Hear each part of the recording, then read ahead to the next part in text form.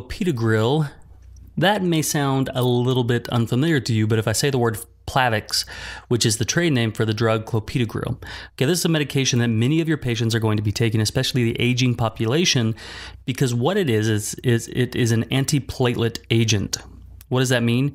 It simply means that it inhibits platelet aggregation. What do platelets do? Well, platelet, platelets, remember, are part of our whole clotting cascade. When platelets start to aggregate, we start to form a clot. So why would we want to give this to somebody? What would be the purpose of this?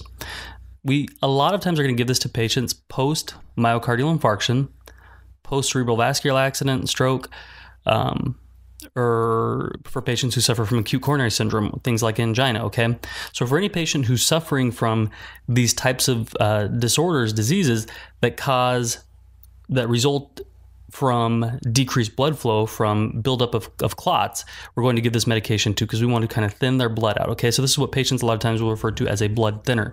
Okay, so for like in the case of MI, MI, all that means is that we've eh, lost oxygen to a portion distal to in the heart. Okay, so basically we have a clot somewhere, and that's preventing blood flow, which means we're not getting oxygen to a portion of that muscle. We have an MI ischemic strokes is the exact same thing, but in the brain, okay? We have a clot somewhere and we lose oxygen or blood flow to a portion of the brain, and that causes our stroke.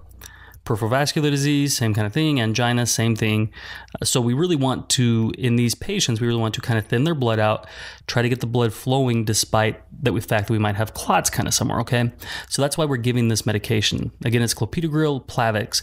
Therapeutic class is antiplatelet agent, pharmacologic class is platelet aggregation inhibitor. Same thing, right? Makes perfect sense. Now, the problem with this is we begin to thin their blood out, we can cause problems other places, right?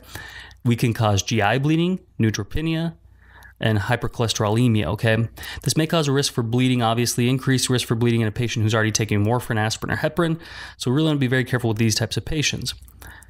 Another thing you really want to keep in mind with this is that we're going to be monitoring uh, our CBC and platelet count daily. Okay, we want to understand what's going on with our platelets. Are we getting them? Uh, are we causing thrombocytopenia too far? Um, oh, and what's kind of our, our overall blood count looking like? We want to discontinue use five to seven days before surgery. Okay, very important that the patient is off this medication before surgery. So, what can really happen with these patients is we have a patient who who's taking this medication and some sort of traumatic event occurs and then they need surgery okay? So they're taking plavix but you know it's it's very unsafe to do surgery on these patients with that type of condition. So we give them other medications to try to increase clotting times okay? So we're going to monitor bleeding times on these patients. Uh, it can also some things that can increase bleeding times or, or increase the risk for bleeding in these patients are things like garlic ginkgo and ginger okay? So really it's just very logical if you think through this medication. If you think why why are we giving it? What's it going to do? And then what are some conditions where uh, you know we're going to give this medication? Mi cva acute coronary syndrome pvd things like that that are a result of decreased blood flow. And then what can happen by thinning the blood too much? Can cause bleeding other places, can cause neutropenia.